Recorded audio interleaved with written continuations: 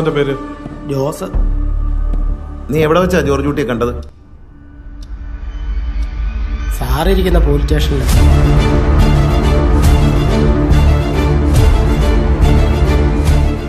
നമസ്കാരം.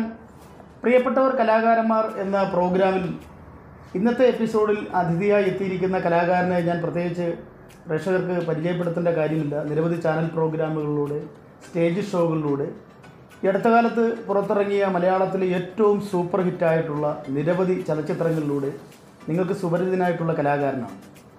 പ്രിയപ്പെട്ട അജിത് കൂത്താട്ടുകുളം.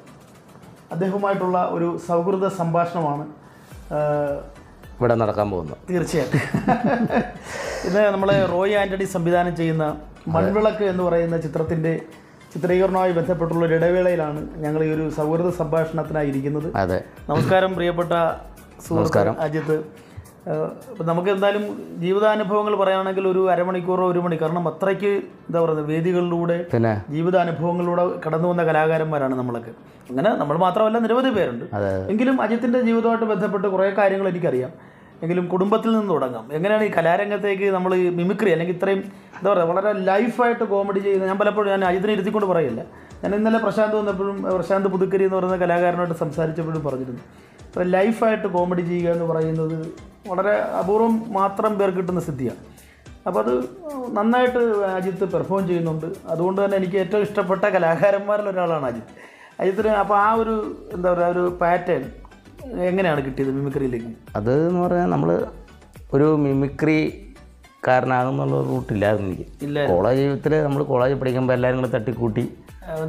ആ ചുമ്മാ അങ്ങ് ചെയ്ത അവിടെ അപ്പോൾ അത് കഴിഞ്ഞിട്ട് കോളേജിലൊക്കെ ചെയ്തപ്പോൾ കുഴപ്പമില്ലാതെ അങ്ങ് പോയി.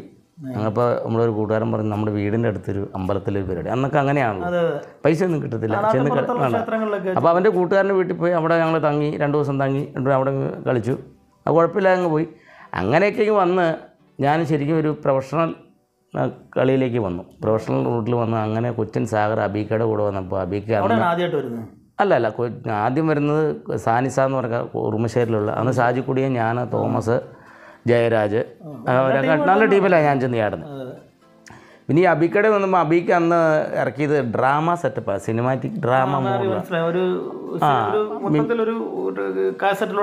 ആ അത് തന്നെ. പക്ഷേ ഡയലോഗൊക്കെ സി ഡി അല്ല. അന്നൊക്കെ സി ഡി ഇറങ്ങിയ ടൈമാണ് അതെ അതെ അതെ അപ്പോൾ അതിനകത്ത് കഥാപാത്രമാണ് ചെയ്യണമെന്ന് അപ്പോൾ പുള്ളി ഇങ്ങനെ ഓരോന്ന് കാണിച്ചു തന്നു അബിക്ക്. അപ്പോൾ അത് ലൈഫാണ് മൊത്തം. മിമിക്രി അല്ലായിരുന്നു. മിമിക്രി അല്ലായിരുന്നു നമ്മുടെ ജീവിതത്തിൽ എങ്ങനെയാണ് ആ അത് തന്നെ അതുപോലെ ഒരു കഥയായിരുന്നു മൊത്തം. എനിക്ക് ഓർമ്മ start away Shanmukhi start camera action അങ്ങനെ രണ്ടെണ്ണമാണ് അതൊരു പത്ത് നാനൂറ് നാനൂറ്റമ്പത് സ്റ്റേജ് കളിച്ചു. കൗശമം തന്നെ വിദേശത്തും അതുപോലെ തന്നെ ഈ ഓൾ ഇന്ത്യ കളിയായിരുന്നു. ആ അങ്ങനെ അപ്പോൾ അത് കഴിഞ്ഞപ്പോഴത്തേനും മാറും. പിന്നെ കലാഭവനിലേക്ക് വന്നു. കലാഭവൻ അത് കഴിഞ്ഞിട്ടാണ് കലാഭവൻ. ആ കലാഭവനിൽ മൂന്ന് വർഷം ഞാൻ കളിച്ചു. ഞാൻ ജാഫർക്ക ബെന്നിച്ചേട്ടൻ അങ്ങനെ കുറേ ആർട്ടിസ്റ്റുകളുണ്ടായിരുന്നു. കലാഭവൻ ഞാൻ നോക്കിയിട്ട് എനിക്ക് തോന്നുന്നു തുടക്കം എല്ലാം നല്ല അല്ല ഞാൻ മതിച്ചേട്ടനോട് പറഞ്ഞല്ലോ നമ്മൾ നമ്മളിങ്ങ് പോത്തപ്പോൾ വർത്താനം പറഞ്ഞ് പോകുന്ന പറഞ്ഞില്ല നിങ്ങൾ എന്റെ ഏരിയയിൽ എന്റെ വീടിന്റെ അടുത്ത് ക്യാമ്പ് ഇട്ട് സൂപ്പർ സ്റ്റാർ എന്ന് പറഞ്ഞു ഞാൻ കണ്ടെന്നു നിങ്ങൾ അന്ന് പരിചയമില്ല. അന്നൊന്നും ഞാൻ മിമിക്രി വീട്ടിലേക്ക് വരുന്നേ ഉള്ളൂ. അതേ ശരി. അങ്ങനെയാണ് ഇതിനകത്ത് രംഗത്തേക്ക് വരുന്നത് പിന്നെ ചാനൽ പരിപാടികളിലേക്ക് പിന്നെ അങ്ങനെ വന്ന് ചാനലിൽ വന്ന് ഉല്ലാസിന്റെ കൂടെ കോമഡി സ്റ്റാർസിൽ മറ്റേ ഉഡാഫോൺ കോമഡി സ്റ്റാർസ്.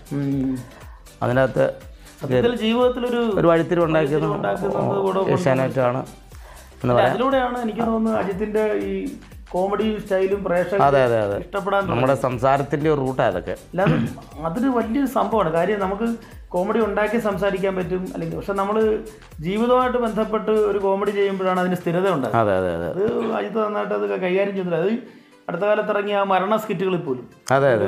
മരണ വീട്ടിലെ സ്കിറ്റ് ഉണ്ടല്ലോ. അത് മഴവിൽ മനോരമ ചെയ്തു. മഴവിൽ മനോരമ ചെയ്ത്. ആ സ്കിറ്റുകൾ പോലും ഭയങ്കരമായിട്ട് അത് എഫക്റ്റ് ചെയ്യുന്നുണ്ട്. അപ്പോൾ ചാനൽ പരിപാടികൾ ഇപ്പം ഇപ്പം ചെയ്തുകൊണ്ടിരിക്കുന്ന പരിപാടികൾ ഏതൊക്കെയാണ്? ഇപ്പം അമൃത ചാനൽ മാത്രമേ ഉള്ളൂ. അമൃത. ആ കാരണം ഇപ്പം അത് ചെയ്താൽ മതി. അതേ ഉള്ളൂ വർക്ക് അല്ല സിനിമകൾ സിനിമകളുള്ളതിന്റെ പേരിലാണ്. അല്ലാതെ നല്ല കാര്യമാണ്. സിനിമയിലേക്ക് വരുമ്പോൾ കുറച്ചുകൂടെ ഇപ്പം എനിക്ക് തോന്നുന്നു ദൃശ്യത്തിൽ ഞാൻ ഇന്നലെ ഫേസ്ബുക്കിൽ ഞങ്ങൾ അഭിനയിക്കുന്ന സിനിമയായിട്ട് ബന്ധപ്പെട്ടൊരു പോസ്റ്റ് ഇട്ടപ്പോൾ തന്നെ എവിടെയോ ഒരു പ്രിയപ്പെട്ട സുഹൃത്ത് എന്റെ താഴത്തൊരു കമന്റ് ഇട്ടതാണ്. അത് ദൃശ്യത്തിൽ ദൃസാക്ഷി കൂടെ ഉണ്ടല്ലോ. അപ്പൊ പ്രേക്ഷകരുടെ മനസ്സിലേക്ക് എത്രമാത്രം ആ കഥാപാത്രം അല്ലേ? അപ്പൊ അപ്പോൾ ഈ ജിത്തു സാറിന്റെ സിനിമയിലേക്ക് വരാനുള്ള സാഹചര്യം എങ്ങനെയാണ്? ജിത്തു സാറ് നേരിട്ട് വിളിച്ചതാണ് ജിത്തു സാറ് നേരിട്ട് വിളിച്ചതാണ് ഞാനൊരു ദിവസം വീട്ടിലിങ്ങനെ ഇരിക്കുക ഇരിക്കുമ്പം എനിക്കൊരു ഫോൺ വന്നു. ഞാൻ ജിത്തു ജോസഫാണ് എന്ന് പറഞ്ഞു. ഞാൻ ജിത്തു ജോസഫ്. ആ ഡയറക്ടർ ജിത്തു അറിയാതെ മുണ്ടം കഴിച്ചിട്ട് പോയി. നിന്നുകൊണ്ട് തന്നെ. ആ. എന്നോട് പറഞ്ഞൊരു അജിത്തെ ദൃശ്യം ടൂവിൽ നല്ലൊരു വേഷമുണ്ട് പറഞ്ഞു ഞാൻ സാറിന് പരിചയമില്ല. ഒരു ഫോട്ടോ അയച്ചു തരാമെന്ന് എനിക്ക് ഫോട്ടോ എടുക്കാൻ വേണ്ടി ഞാൻ മൊബൈൽ വെച്ച് ഇങ്ങനെ കുറേ നോക്കിയിട്ട് ശരിയാകുന്നില്ല. ഞാൻ സാറിനെ തിരിച്ചു വിളിച്ചു. സാറേ എനിക്കത് കൈ വരയ്ക്കുക. ഞാൻ സ്റ്റുഡിയോ പോയി ഒരെണ്ണം എടുത്തിട്ട് വരാമെന്ന്. അപ്പോൾ പറഞ്ഞു വേണ്ട ഇത്തിരി വീട് കൂത്താട്ടുകുളത്തല്ലേ ഇത്? അതെ അതെ. അപ്പം ഞാൻ വഴുത്തല എന്ന് പറഞ്ഞ സ്ഥലത്ത് ജോർജ് കുട്ടിയുടെ വീടില്ലേ? മറ്റേ ലാലേട്ടന്റെ വീട്. അത് എനിക്ക് അവിടെ നിന്ന് ഒരു ആറ് കിലോമീറ്റർ ഉള്ളൂ. നമ്മുടെ വീട്. ആ പിന്നെ എന്റെ വീടുമായിട്ട് ആ പിന്നെ അപ്പോൾ അവിടെ നിന്ന് ആറ് കിലോമീറ്റർ ഉള്ളൂ. അപ്പോൾ എന്നോട് പറഞ്ഞു എന്നാൽ നാളെ ഞങ്ങൾ ലൊക്കേഷൻ നോക്കാൻ വരുന്നുണ്ട്. ആ വീട്. അപ്പോൾ അവിടെ വരാമെന്ന് വെച്ചു. ഞാനവിടെ ചെന്നു. ചെന്നപ്പോൾ അവർ നേരത്തെ കറക്റ്റ് ടൈമിൽ അവിടെ ഉണ്ട്. ക്യാമറമാനുണ്ട് ജിത്ത് സാറുണ്ട് അസോസിയേറ്റ് ഉണ്ട് എല്ലാം ഉണ്ട്. ജിത്ത് സാർ എന്നെ ആ വീടിന്റെ ഒരു സൈഡിൽ കൊണ്ടുവരും ഇങ്ങനെ ഒരു എറാത്ത് കൊണ്ടുവരുത്തി എന്റെ വേഷം എനിക്ക് പറഞ്ഞു തന്നു. സാറ് നേരത്തെ ക്യാരക്ടർ ഫിക്സ് ചെയ്ത് ഫിക്സ് ചെയ്ത് വെച്ചേക്കുക ഇതാണ് ദൃക്സാക്ഷി സാക്ഷിയാണ്. അജിത്താണ് ഇതിന്റെ മെയിൻ ഏഹ്. ഞാൻ ഞെട്ടിയിട്ട് വായിൽ വെള്ളവും പറ്റിയിട്ട് ലാലേട്ടനാന്ന് പറയണം അയ്യോ. ഏ? എന്നിട്ട് മലയാളത്തിന്റെ മഹാനായിട്ട് അഭിനയിക്കല്ലേ അത് കഴിഞ്ഞിട്ട് എന്നിട്ടും നമുക്ക് വിശ്വാസമില്ല. എങ്ങനെ തട്ടി സിനിമയും എന്നൊക്കെ പറഞ്ഞ് തട്ടിക്കളയ സത്യത നമുക്ക് ഉണ്ടാകും പിന്നെ കോസ്റ്റ്യൂം അളവെടുക്കാൻ ചെന്നപ്പോഴാണ് ഞാൻ ഫിക്സഡ് ഉറപ്പിച്ചത്. അല്ല അത് നമ്മളെ ഈ സിനിമ എന്ന് പറയുന്ന സംഭവം സ്വപ്നം കണ്ട് നടക്കുന്നവർക്ക് നമ്മുടെ കയ്യിൽ വന്ന ശേഷം നമുക്ക് വിശ്വസിക്കാൻ പറ്റും. അതെ അതെ അതെ. പ്രത്യേകിച്ച് മോഹൻലാൽ എന്ന് പറയുന്ന നടന വിസ്മയത്തിന്റെ കൂടെ അഭിനയിക്കുന്നു. ജിത്തു ജോസഫ് എന്ന് പറയുന്ന മലയാളത്തിന്റെ പ്രഗത്ഭനായ ഒരു ഡയറക്ടർ സിനിമ ഇതൊക്കെ നമുക്ക് വിശ്വസിക്കുന്നതിനും അപ്പുറമായ ഒരു അവസ്ഥയാണ് അപ്പോൾ അത് വിശ്വസിപ്പിച്ചെടുക്കുക എന്ന് പറയുന്നത് അവിടെ ചെന്ന് നിൽക്കുമ്പോഴേ നമുക്ക് സാധിക്കുള്ളൂ. അതെ അതെ ലാലേട്ടനായിട്ടുള്ള അഭിനയം എങ്ങനെ? അനുഭവം ലാലേട്ടനായിട്ടുള്ള അനുഭവം എന്ന് പറഞ്ഞു കഴിഞ്ഞാൽ ഞാൻ ഫസ്റ്റ് ദിവസം എനിക്ക് മറ്റേ മുരളി ഗോപി ഫസ്റ്റ് അതിനകത്ത് വേറൊരു ഭയങ്കര സത്യമായ ഒരു കാര്യമുണ്ട് എന്റെ മുഖത്തു നിന്നാണ് ദൃശ്യം ടു തുടങ്ങുന്നത്. തുടങ്ങുന്ന ക്യാ- പൂജ ഫസ്റ്റ് കഴിഞ്ഞ്. വരുന്നതാണ്. തീർന്നതും എന്റെ മുഖത്തു നിന്നാണ് അതൊരു വലിയ ഭാഗ്യം. അത് ഭാഗ്യമാണ്. കാര്യം? പറയാൻ കാര്യം ഈ സിനിമയ്ക്ക് ഒരു പ്രത്യേകതയുണ്ട്. അത് എല്ലാവരും എല്ലാവർക്കും ഉണ്ടെന്ന് എനിക്കറിയില്ല. ഇനി ആ സിനിമ എന്തെങ്കിലും കാരണവശാൽ ജിത്തു സാറ് പറഞ്ഞു. ഷൂട്ട് കഴിഞ്ഞാൽ പറഞ്ഞു. ആണ്ടേ ഇത് ശരിയാണല്ലോ. ഇത് അജിത്തിന്റെ മുഖത്തുനിന്ന് തുടങ്ങി അജിത്തിന്റെ മുഖത്തുനിന്ന് തീർന്നല്ലോ. അതെ. പടങ്ങാനം പൊളിഞ്ഞു പോയാൽ കൂത്താട്ടോളത്ത് വന്ന് വെട്ടുകൊള്ളുന്നു പുള്ളി എന്നോട് ചുമ്മാ തമാശയ്ക്ക് പറഞ്ഞു. തമാശക്ക് പറഞ്ഞു. ഞാനത് ഇന്റർവ്യൂ പറഞ്ഞു. ഞാനൊരു ഈ പടം കഴിഞ്ഞിട്ട് ഞാൻ കൂടി ഒരു നൂറ്റമ്പത് ഇന്റർവ്യൂ എങ്കിലും ചെയ്തിട്ടുണ്ടാവും. അല്ല എല്ലാം പറഞ്ഞില്ലേ? ഈ പടം പൊളിഞ്ഞാൽ എന്നെ വെട്ടിക്കൊല്ലും ആ അതൊക്കെ ഇതാക്കി ഇട്ടേക്കും ആൾക്കാർ അത് ശരി. പിന്നെ ആ മുരളി ചേട്ടനും ഗണേഷ് കുമാറൊക്കെ ഉള്ള സീനായിരുന്നു ഫസ്റ്റ്. അതെല്ലാം കഴിഞ്ഞിട്ട് പിന്നെ ആണ് ലാലേട്ടന്റെ സീൻ. ലാലേട്ടൻ വന്ന് ഫസ്റ്റ് ഞാൻ ഒരു ഹോട്ടലിൽ നിന്ന് ഇറങ്ങി വരുമ്പോൾ പുള്ളിയെ ജോർജ് കുട്ടിയെ കാണുന്ന ഒരു സാധനമാണ്. അപ്പോൾ ഞാൻ ഈ നമുക്കൊരു ഒരു മാസം മുമ്പ് എനിക്ക് സ്ക്രിപ്റ്റിങ് തന്നു. അതുകൊണ്ട് നമുക്ക് കുറച്ചുകൂടെ പഠിച്ചു വെക്കാം. ഞാൻ വെള്ളം പോലെ പിടിച്ചു വെച്ചേക്കുക. അതിനകത്ത് എവിടെ നിന്ന് ഞാൻ ഉറക്കത്തിൽ വിളിച്ചാലും ഞാൻ വിളിച്ചു പറയും. ആ പിന്നെ ലാലേട്ടനാണ് നമുക്ക് ജിത്തു സാറ് കുറേ റിഹേഴ്സൽ വന്നു ലാലേട്ടനായിട്ട് ജിത്തു സാറ് നിന്നിട്ട്. അതിന്റെ സാറ് വന്ന് സാറ് വന്നു നിൽക്കുമ്പോൾ വല്ലാത്ത അനുഭവം. ആ അതാണ് ഇടിച്ചിട്ട് ജനം ഇങ്ങനെ നിൽക്കണം. ലാൽ സാർ ഇങ്ങനെ ഇറങ്ങി വന്നു. ഇറങ്ങി വന്നിട്ട് ആരാ ജോസ് ചെയ്യണേ ഇത് പറയാ പുള്ളിക്കാരനാണ് അല്ലേ? മോനെ നമ്മൾ ഒന്നിച്ച് സിനിമ ചെയ്തിട്ടുണ്ടോ? മോനെന്ന് വിളിച്ച്. ആ. ഇല്ല സാറേ ആദ്യമായിട്ടാണ് അല്ല നമ്മൾ ചെയ്തിട്ടുണ്ട്. ഞാൻ കാരണം പറഞ്ഞു കേട്ടിട്ടുണ്ട്. ആൽസാർ ഈ കോമഡി പരിപാടികളെല്ലാം ആ അത് അന്നേരമാണ് ജിത്തു സാർ വന്നത്. കോമഡി ആർട്ടിസ്റ്റാണ്. ആ അതാണ്. അത് പറഞ്ഞിട്ട് സാറങ്ങ് ചെയ്തു. കുഴപ്പമില്ലാണ്ടൊക്കെ കുഴപ്പമില്ലാണ്ടങ്ങ് പോയി. എന്നാ വെച്ചാൽ എന്നോട് പറഞ്ഞു ഞാൻ ആ റോഡിൽ നിന്ന് ഇറങ്ങുമ്പോൾ മോൻ ഇവിടുന്ന് ഡയലോഗ് പറഞ്ഞങ്ങ് ഇറങ്ങിക്കും. അങ്ങനെ അങ്ങനെ ചെയ്ത് കുഴപ്പമില്ലാതെ. ഇത് കഴിഞ്ഞിട്ട് എനിക്ക് ജീവിതത്തിൽ നമുക്ക് ഞാനൊക്കെ ചെറുപ്പത്തിൽ മുതൽ കാണുന്ന തിയേറ്ററിൽ പോയിരുന്നു കാണുന്നല്ലേ എന്റെ തോളത്ത് ഇങ്ങനെ കൈയിട്ടേക്കുക ലാൽ സാർ. ഞാൻ സാറെ വീട്ടിൽ ആരൊക്കെ ഉണ്ടെന്നൊക്കെ ചോദിച്ചാൽ തോളത്ത് കൈയിട്ടേക്ക് കൈ എടുക്കുന്നില്ല. എനിക്കാണെങ്കിൽ എങ്ങനെ ഇങ്ങനെ ഒന്ന് ഊരിക്കൊണ്ട് പോയാൽ മതി എന്നുള്ളത് ഏ? കൈ എടുക്കുന്നില്ല. എന്റെ പുറത്തെ ചെറിയൊരു മുഴയുണ്ട് ഇവിടെ. ഇങ്ങനെ. പുള്ളി അതേ പിടിച്ചിങ്ങനെ തിരുമിക്കൊണ്ടിരിക്കും ഏ? തിരുമിക്കൊണ്ടിരിക്കുക അപ്പോൾ ഈ ഒരു പുസ്തക പ്രകാശനം ചെയ്യാനായിട്ടൊരു പയ്യൻ അവിടെ വന്നു. ഏ. അപ്പോൾ അവനോട് ഈ കാര്യം ചോദിക്കുക എനിക്കെന്നു ഊരിക്കൊണ്ട് പോകും നമുക്കാണെങ്കിലേ എന്താ പറയണേ? ഒന്നും പറയാൻ പറ്റാത്ത അവസ്ഥയായിരുന്നു. അതങ്ങ് വന്നാൽ പയ്യനെന്ത് വർത്തമാനം പറഞ്ഞാൽ അതങ്ങ് ചെയ്തപ്പോഴാണ് മാറിയത്. നമ്മൾ കൈ എടുക്കാൻ പറ്റിയത് സാറ് കൈ പറയാൻ അപ്പോൾ അതൊരു അനുഭവമായിരുന്നു.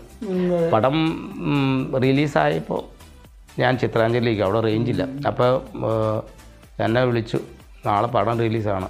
എല്ലാ റൂട്ടായി. എനിക്ക് ടെൻഷനായി. ടെൻഷനായിട്ട് നമ്മൾ അന്ന് ഞാൻ ഫോൺ റൂമിൽ വന്നിട്ട് ഫോൺ ഓഫ് ചെയ്തു. ഓഫ് ചെയ്തു. ആ ഓഫ് ചെയ്ത് കിടന്ന് നേരം വെളുത്ത് അന്ന് എട്ട് മണി പത്ത് മണിക്ക് പന്ത്രണ്ട് മണിക്കാണ് പടം റിലീസ് ആണേന്ന് പറഞ്ഞു പക്ഷേ പത്ത് മണി ഈ ആരാധകരുടെ നിർബന്ധം മൂലം ഫാൻസിന് വേണ്ടി അത് ഒമ്പത് മണിക്കാക്കി. ഒമ്പത് മണി കഴിഞ്ഞിട്ട് നേരം വെളുത്ത് ഞാൻ ഫോൺ തുറന്നപ്പോൾ അരിയൂ ഹര ഒന്നും പറയാൻ പറ്റില്ല. അതുപോലെ. അല്ല ഞാൻ ആ സമയത്ത് കുറേ ഇന്റർവ്യൂസും അജിത്തിനെ പൂഴ്ത്തിക്കൊണ്ട് സുഹൃത്തുക്കളും അല്ലാത്ത അറിയാത്ത ആൾക്കാരും ഒക്കെ അജിത്തിന്റെ ഫോട്ടോ ഇട്ടുകൊണ്ട് കുറെ റിവ്യൂസ് ഒക്കെ എഴുതി എല്ലാം കണ്ടു. അതൊരു വലിയൊരു സംഭവമായിരുന്നു. അതെ അതെ. ഞാൻ പറഞ്ഞില്ല ദൃശ്യം ടൂവിൽ അജിത്തിന്റെ മുഖത്തു നിന്ന് തുടങ്ങി അജിത്തിന്റെ മുഖത്തിലാണ് സിനിമ തീർന്നതെങ്കിൽ പിന്നെ പ്രേക്ഷകരുടെ മുഖത്തേക്കാണ് ആ സിനിമ അല്ലെങ്കിൽ അവരുടെ ഹൃദയത്തിലേക്കാണ് ദൃശ്യം ടു എടുത്തു വെച്ചത്. ജിത്തു സാർ എന്ന് പറഞ്ഞ ഡയറക്ടർ ദൈവമാണ്. ശരിക്കും എന്താണെന്നറിയാം നമുക്ക് ഓരോ കാര്യങ്ങൾ പറഞ്ഞു തന്നിട്ട് അതിൽ വന്ന മോണിറ്റർ നോക്കണേ. പറഞ്ഞു തരുമല്ലേ ആ മോണിറ്റർ നോക്കിയാൽ ശരിയാണെന്നായിട്ട് അയച്ച് നോക്കിയോ? എന്ന് പറയും. ഏ? വേറെ ആരും അങ്ങനെ പറയുന്നില്ല മോണിറ്ററിന് അടുത്ത് പോലും ചെല്ലിക്കുകയില്ല. അപ്പോൾ നമ്മളവിടെ ചെന്നിരിക്കുമ്പോൾ കസേര ഇട്ടിട്ട് നോക്ക്. എന്ന് പറയും. അങ്ങനെ നോക്കും. നോക്കുമ്പോൾ ഞാൻ വേറൊരു മനുഷ്യനായിരിക്കുന്നത് അതെ. അത് മേക്കപ്പ് ഒന്നുമില്ല ശരിക്കും. മേക്കപ്പ് ഇല്ല വേറെ ഈ ഡ്രസ്സെല്ലാം ഇട്ടപ്പോൾ തന്നെ ഗണേഷ് കുമാർ പറയാണ് പറഞ്ഞു ജിത്തു സാറിനോട്. ഈ ആപ്റ്റായിട്ടുള്ള ആൾക്കാർ ഇത് എവിടെ നിന്ന് ആ അതുപോലെ ഒരു മുഖമായിരുന്നു എന്റെ അല്ല അവർക്കുണ്ട്. സിനിമയിലെ കാര്യം അല്ല അതാ ഞാൻ തുടക്കത്തിൽ പറഞ്ഞത്. അജിത്ത് ലൈഫായിട്ട് കോമഡി ചെയ്യുമ്പോൾ തീർച്ചയായിട്ടും അതിന് നേരെ എന്റെ ഡിഫറെന്റ് ആയിട്ടുള്ള ക്യാരക്ടർ ചെയ്യാമെന്ന് കണ്ടുപിടിക്കുന്ന ഡയറക്ടർ ഒരു സെൻസ് അതെ അതെ അതെ അത്. കറക്റ്റായിട്ട് വർക്കൗട്ട് ആയി കഴിഞ്ഞു കഴിഞ്ഞാൽ ക്യാരക്ടർ ഒക്കെയാണ്. അതുകൊണ്ട് ആ സിനിമ കണ്ടപ്പോഴും എനിക്ക് തോന്നി ഇപ്പോൾ അജിത്തുമായിട്ട് നേരിട്ട് എനിക്ക് പരിചയം ഉണ്ടെങ്കിൽ പോലും സിനിമ കണ്ടപ്പോൾ എന്റെ മനസ്സിൽ തോന്നിയിരുന്നു നാട്ടിൻ പുറത്തുകാരനായ ശരി പിന്നെ അജിത്ത് വളരെ കൂളായിട്ട് ആ കഥാപാത്രമായിട്ട് പിന്നെ അഭിനയിക്കുകയല്ല ജീവിക്കുന്ന കാരണം അതിന്റെ അകത്ത് കുറേ നാടൻ ഭാഷകളൊക്കെയാണ്. അത്. എന്നോട് പറഞ്ഞ അങ്ങനെ തന്നെ പറഞ്ഞാൽ മതി. ഞാൻ നമ്മളൊക്കെ നമ്മുടെ പോലീസ് സ്റ്റേഷൻ എന്ന് പറയുള്ളൂ. പോലീസ് സ്റ്റേഷൻ എന്ന് പറയല ലീവ് വരത്തില്ല. ലീവ് വരത്തില്ല. അതൊക്കെ ജിത്ത് സാർ ഞാൻ പോലീസ് സ്റ്റേഷൻ എന്ന് പറയുമ്പോൾ അങ്ങനെ പറയണ്ട. അയത്ത് പറഞ്ഞ പോലെ തന്നെ അങ്ങ് പറഞ്ഞു. ആ പോലീസ് സ്റ്റേഷനാ ഞാൻ പോലീസ് സ്റ്റേഷനിൽ കുഴിച്ചിട്ട് അങ്ങനെ കണ്ടു എന്നൊക്കെ പറഞ്ഞാൽ അത് കറക്റ്റ് അങ്ങനെയാണ് പിന്നെ മറ്റൊരു അനുഗ്രഹം കൂടെ ഉള്ളത് ദൃശ്യം ദൃശ്യം എന്ന് പറയുന്ന സിനിമ നമ്മളിപ്പോൾ മഞ്ഞിലുരിഞ്ഞ പൂക്കൾ സിനിമ ഒരു തലമുറ മുഴുവൻ മറക്കില്ല. ഇപ്പം എന്താ പറയണ്ട അതുപോലുള്ള നിരവധി മണിച്ചിത്രത്താണ് ഇന്ന് എവർഗ്രീൻ ഹിറ്റായിട്ട് അതുപോലെ തന്നെയാണ് ദൃശ്യം. ദൃശ്യം സിനിമ എന്ന് പറയുന്നത് ആ ദൃശ്യം അതേ കണക്ക് പ്രേക്ഷകരുടെ ഹൃദയത്തിൽ കിടക്കുക. അതിന്റെ ഒരു രണ്ടാം ഭാഗത്തിൽ അഭിനയിക്കുക ആ സിനിമ വിജയിപ്പിക്കുക ആ ആ കഥാപാത്രത്തെ പക്ഷെ വിജയിപ്പിക്കുക. ഞാൻ അഭിനയിക്കുമ്പോഴും അതിന്റെ അകത്ത് എനിക്കറിയത്തില്ല ഞാനാണ് ഇതിന്റെ ടിസ്റ്റ് എന്നുള്ളത്. അറിയത്തില്ല. ആ, അത് ശരി. അഭിനയിച്ച് കഴിഞ്ഞ് പടം ഇറങ്ങിക്കഴിഞ്ഞ് ഞാൻ തിയേറ്റർ പോലെ ഇരുന്ന് കാണും ഒരു വീട്ടിൽ നമ്മൾ കൂട്ടുകാരന്മാരെല്ലാം കൂടെ വലിയ സ്ക്രീൻ വെച്ചിട്ട് വലിയൊരു വലിയ ഡോൾഫി സിസ്റ്റമൊക്കെ വെച്ചിട്ട് ഇരുന്ന കണ്ടു അവർ നാല് ദിവസം ആ തിയേറ്റർ അവിടെ ഇട്ടു. ഞാൻ വന്ന വരെ. ആ ഞാൻ വന്ന വരെ ഞാൻ തിരുവനന്തപുരത്താണ് നാട്ടിലൊക്കെ ഇത് ഓ നാട്ടിലൊക്കെ ഭയങ്കരമായിരുന്നു നാട്ടിലൊക്കെ മൊത്തം ഫ്ലെക്സ് അടിച്ച് ഞാൻ വീട്ടിൽ വരുമ്പോൾ ഫ്ലെക്സ് കൊണ്ട് നിറഞ്ഞു ആ ഏരിയ ടൗൺ ലാലേട്ടറും അവർ നിൽക്കുന്ന അതിന്റെ ഇടയ്ക്ക് ഞാൻ എന്റെ ഒരു തല വെച്ചിട്ട് അതിൽ പിന്നെ ഭയങ്കര സ്വീകരണവും. അല്ല അത് പിന്നെ അത് പ്രധാനപ്പെട്ട കഥാപാത്രമല്ലേ? അത് നിസ്സാര കാര്യമല്ലല്ലോ ഇപ്പോൾ ഇപ്പോൾ പുതിയ സിനിമകൾ ഇപ്പോൾ പുതിയ ഒരു മൂന്നാൽ സിനിമയായി. അത് കഴിഞ്ഞ് നേരെ ടി കെ രാജകുമാർ സാറിന്റെ ബെർമൂഡ എന്ന് പറഞ്ഞ സിനിമ. ആ അതിനകത്ത് നല്ല വേഷം ചെയ്തിട്ടുണ്ട്. പിന്നെ അതുപോലെ തന്നെ ഇപ്പോൾ ഇത് നമ്മുടെ ഷാജി കരേ സാറിന്റെ കടുവ. കടുവ കടുവ. കടുവ. പിന്നെ നമ്മുടെ ശോചാറിന്റെ മകൻ നായകനാകുന്ന തൃശങ്ക് പിന്നെ ഞാൻ നായകനായ ഒരു സിനിമ ദിനം. ആ മൂന്ന് അതേ കൂടെ പടമുണ്ട് പടമുണ്ട്. ഇനിയും വരും പടങ്ങൾ വരും. കാര്യം എനിക്ക് തോന്നുന്നു ഞാനിപ്പം വെറുതെ പറയാനില്ല ഇപ്പോൾ ഒരു വാക്കൊരു ഇതായി എടുക്കുക. അജിത്തിന്റെ നല്ല സമയം നല്ല സമയം തന്നെയാണ്. എങ്കിലും മികച്ച കഥാപാത്രങ്ങളിലേക്ക് വീണ്ടും വീണ്ടും വ്യത്യസ്തമായ ക്യാരക്ടറുകൾ നമുക്ക് വരുമ്പോഴാണല്ലോ നമ്മുടെ നമ്മളിലുള്ള നടനെ നമുക്ക് അതെ അപ്പം അങ്ങനെയുള്ള കഥാപാത്രങ്ങൾ തീർച്ചയായിട്ടും സംവിധായകർ അജിത്തിന് എനിക്ക് തോന്നി ഇപ്പൊ ഈ കോവിഡിന്റെ ഒമിക്രോണിന്റെ ഒക്കെ പ്രതിസന്ധി നിൽക്കുന്നതുകൊണ്ടാണ് വർക്കുകൾ ഇത് ഞാൻ പറഞ്ഞു ഈ പടം കഴിഞ്ഞ് ഈ ഷൂട്ട് കഴിഞ്ഞു പടം ഇറങ്ങി കഴിഞ്ഞപ്പോൾ എനിക്ക് തമിഴ്നാട്ടിൽ നിന്ന് വമ്പൻ ഒരു പടത്തിന്റെ ഓഫറാണ് വന്നത്. സൂര്യയുടെ അനിയൻ നായകനാകുന്ന പടത്തിൽ എനിക്ക് അവർ പറഞ്ഞ് നാല് ദിവസം അഞ്ച് ദിവസം എന്നെ വിളിച്ചുകൊണ്ടിരിക്കണം ആ അപ്പോൾ എന്നോട് പറഞ്ഞു പത്ത് ലക്ഷം രൂപ പറഞ്ഞു. ആ. ആ പറഞ്ഞു എന്ന് പറഞ്ഞു. ഒക്കെ പറയാനൊക്കെ ആയിട്ട് റെഡി ആയിട്ടിരിക്കുമ്പോഴാണ് തമിഴ്നാട്ടിൽ കൊറോണ കയറി എന്ന് കൂടി. പിന്നെ അവരത് വിളിച്ചിട്ടില്ല. വിളിക്കുമെന്ന് അറിയത്തില്ല. അല്ല ഇല്ലെങ്കിലും അതൊക്കെ വിളിക്കും. വിളിക്കും വിളി ഞാൻ അഥവാ വിളിക്കുകയോ വിളിക്കാതിരിക്കുക എന്നുള്ള അതിലുപരി കൂത്താട്ടുള്ള എന്ന് പറയുന്ന വളരെ മനോഹരമായ ഒരു മലയോര ഗ്രാമത്തിൽ നിന്ന് മിമിക്രിയിൽ വന്ന് മലയാള സിനിമയുടെ ഇത്രയും വലിയ ഒരു സാന്നിധ്യമായി ഇതുവരെ മാറാൻ കഴിഞ്ഞു. അത് തന്നെ വലിയ ഭാഗ്യം അല്ലേ? അത്. തീർച്ചയായിട്ടും ഇനിയുള്ള അവസരങ്ങൾ വരും എന്ന് തന്നെയാണ് എന്റെ പ്രതീക്ഷ. അപ്പോൾ മിമിക്രിയും സിനിമയും ഒക്കെ ആയിട്ട് അജിത്തിന്റെ ജീവിതം സുന്ദരമായിട്ട് പോകട്ടെ. ഇനി ഞാനിതിപ്പോൾ അജിത്തിനെ എഴുതിക്കൊണ്ട് പറയില്ല. കുറേ സുഹൃത്ത് ബന്ധങ്ങൾ വളരെ സന്തോഷകരമായിട്ട് അല്ലേ മുന്നോട്ട് കൊണ്ടുപോകുന്നുള്ളൂ അതൊരു ജീവിതത്തിൽ വലിയൊരു ഭാഗ്യമാണ്. അതുകൊണ്ട് തന്നെയാണ് ഇപ്പോഴും കുറേ വർഷങ്ങൾക്ക് ശേഷം ഞങ്ങൾ മിമിക്രിക്കാരാണെങ്കിൽ പോലും ഒരുമിച്ച് ഒരു വേദിയിലല്ലേ അഭിനയിച്ചിട്ടില്ല. അതെ അതെ അതെ. പക്ഷേ പിന്നീട് കുറേ വർഷങ്ങൾക്ക് ശേഷം അജിത്ത് സിനിമ വന്ന ശേഷമാണ് ഞങ്ങൾക്ക് ഒരുമിച്ച് സിനിമയിൽ അഭിനയിക്കാൻ ഒരു കോമ്പിനേഷൻ സീനൊക്കെ ചെയ്യാനുള്ളൊരു അവസരം ഞങ്ങൾക്കും കൂടെ കിട്ടിയത്. അത് വലിയൊരു ജീവിതത്തിലെ കാരണം ഇങ്ങനെയുള്ള സുഹൃത്തുക്കളും ബന്ധങ്ങളുമായിട്ടൊക്കെ ഇരിക്കുമ്പോൾ കിട്ടുന്ന വലിയ ഭാഗ്യം തന്നെയാണ്. കുടുംബം മക്കളൊക്കെ? മക്കളെ രണ്ട് പെൺപിള്ളേർ രണ്ട് പെൺകുട്ടികൾ എന്ത് ചെയ്യുന്നു? അവർ പഠിക്കുന്നു. പഠിക്കുന്നു. മൂത്താളും പഠിക്കുന്നു ഇളയതും പഠിക്കുന്നു. പിന്നെ വൈഫുണ്ട്. വൈഫ്? പിന്നെ വൈഫ് ജോലിയൊന്നുമില്ല വീട്ടിൽ ഹൗസ് വൈഫ്. പിന്നെ കുടുംബമായിട്ട് തന്നെ അതെ. ഇരിക്കുകയാണ്. ഓക്കെ അപ്പോൾ എന്തായാലും ഏറെ സന്തോഷം. അജിത്ത് കൂത്താട്ടുകുളം എന്ന് പറയുന്ന മലയാളത്തിന്റെ അല്ലെങ്കിൽ മലയാളികളുടെ ഏറ്റവും പ്രിയപ്പെട്ട കലാകാരൻ. വളരെ സ്വതസിദ്ധമായ ശൈലിയിലൂടെ ഹാസ്യം കൈകാര്യം ചെയ്തുകൊണ്ട് നമ്മുടെയൊക്കെ ഹൃദയത്തിൽ ഇടം നേടിയ കലാകാരൻ ഇന്ന് ദൃശ്യം ടു എന്ന ഏറ്റവും വലിയ ചിത്രത്തിലൂടെ മലയാള സിനിമയിൽ നല്ലൊരു കഥാപാത്രമായി രംഗപ്രവേശം ചെയ്ത് ഇന്ന് നിരവധി ചിത്രങ്ങളിലൂടെ ഇപ്പോൾ മൺവിളക്ക് എന്ന് പറയുന്ന റോയി ആന്റണി സംവിധാനം ചെയ്ത ചിത്രത്തിൽ വളരെ നല്ലൊരു വളരെ വ്യത്യസ്തമായ ക്യാരക്ടറോടെ ആദ്യമായിട്ടാണ് അധ്യാപകനൊക്കെ അധ്യാപകനായിട്ട് ആദ്യമായിട്ടാണ് ചെയ്യുന്നത്. അപ്പോൾ അങ്ങനെ അതിനകത്ത് നമ്മുടെ എനിക്ക് വേണ്ടിയാണ് നമ്മുടെ സുഹൃത്ത് പാടിയേക്കുന്നത് ആരാ?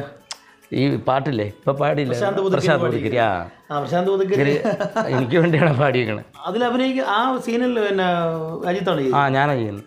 അപ്പോൾ അങ്ങനെ പ്രശാന്ത് പുതുക്കരിയുടെ ശബ്ദത്തിലൂടെ ഒരു ഗാനരംഗത്തിൽ കൂടെ മലയാള സിനിമയിൽ സാന്നിധ്യമാകുകയാണ് പ്രിയപ്പെട്ട അജിത് കൂത്താട്ടോളം എന്തായാലും ഇതൊരു ഈ സിനിമയുടെ ഇടവേളയിൽ കിട്ടിയ ഒരു അല്പനിമിഷമാണ് ഞങ്ങളൊരു സൗഹൃദ സംഭാഷണത്തിന് വേണ്ടി ഇരുന്നത്. ഈ ഒരു സംഭാഷണം പ്രിയപ്പെട്ട കലാകാരൻ അജിത്തിന്റെ കുറച്ച് വിശേഷങ്ങൾ നിങ്ങൾക്ക് ഏറെ ഇഷ്ടമായി എന്ന വിശ്വാസത്തോടു കൂടി ഇനിയും നിരവധി കലാകാരന്മാരെ ഈ ഒരു പ്രിയപ്പെട്ടവർ കലാകാരന്മാർ എന്ന പ്രോഗ്രാമിലൂടെ ഞാൻ കൊണ്ടുവരും. നിങ്ങൾക്ക് ഏറെ ഇഷ്ടമായി എന്ന വിശ്വാസത്തോടു കൂടി തൽക്കാലം ഈ എപ്പിസോഡ് വൈൻഡപ്പ് ചെയ്യുന്നു. നന്ദി നമസ്കാരം. നമസ്കാരം.